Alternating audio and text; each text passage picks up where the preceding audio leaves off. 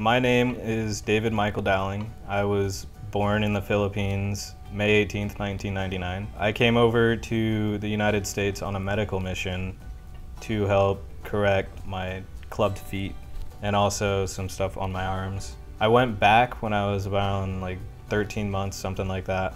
And then my future sister actually came over on some mission trip to uh, the adoption center I was at. She, I guess she just instantly fell in love and she's like, we need to have him in our family. So she went back to America, told our parents about it. My parents came over, visited. I've been living in Fort Wayne, Indiana ever since. I've been going to Turnstone for as long as I can remember. I don't remember not ever going to Turnstone, I don't think.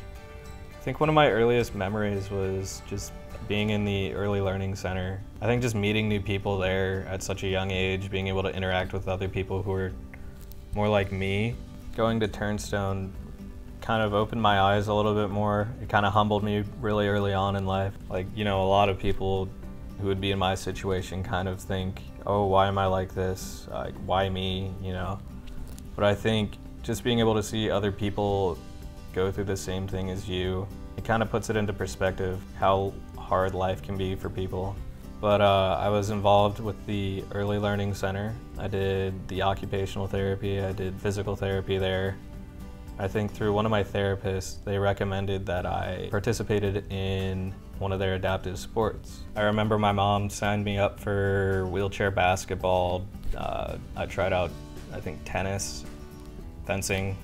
Uh, we kind of settled on swimming for a little while, swimming and basketball, but we just figured out that I couldn't compete. 2009 is when I joined the power soccer team, and I instantly fell in love with the sport. I mean, power soccer just gives me the ability to actually compete at a high level.